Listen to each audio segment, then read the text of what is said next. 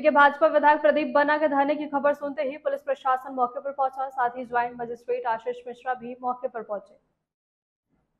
आपको बता दें कि आईआईटी रुड़की परिसर में शहर के वरिष्ठ नागरिकों, बुज़ुर्गों और महिलाओं का प्रवेश खोलने तथा बोट क्लब को नगर निगम के हवाले करने की मांग को लेकर नगर वासियों ने बोट क्लब के बाहर धरना प्रदर्शन किया है। नगर विधायक प्रदीप बन्ना ने ज्वाइंट मजिस्ट्रेट को ज्ञापन सौंपकर जल्द मांगे पूरी करने की मांग की है।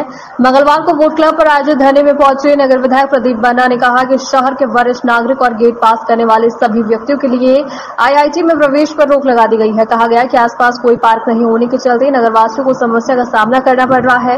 उन्होंने कहा कि आईआईटी रुड़की का एक अभिन्न हिस्सा है, शहरवासियों को किसी में प्रवेश करने से रोकना गलत है। साथ ही उन्होंने कहा कि आईआईटी रुड़की और बोट क्लब का अनुबंध काफ़ी समय पहले हो चुका है। उन्होंने कहा कि सिंचाई विभाग बोट क्लब को नगर निगम के हवाले करे।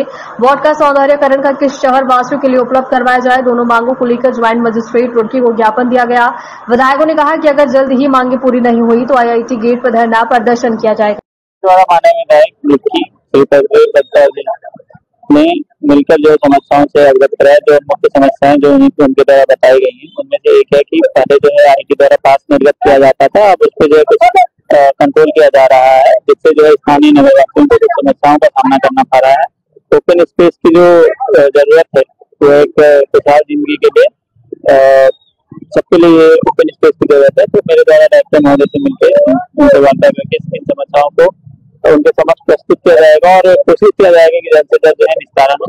दूसरी जो समस्या बताई गई वो है कि बोट हाउस क्लब जो है वो सरकारी भूमि है इरीगेशन की भूमि है लेकिन आईटी वालों के कब्जे में है।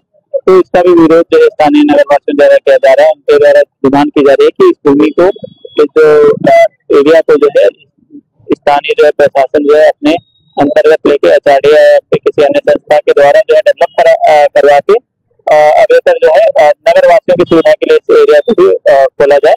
तो इन दोनों जो मुद्दे हैं इन दोनों मुद्दों का संज्ञान लिया गया है और मेरे द्वारा जो है आई के डायरेक्टर सर और डीएम महोदय को भी इस मुद्दे से अवगत कराया जाएगा और अग्रसर जो है निश्चिंत ही कोई अच्छा कार्रवाई होगा।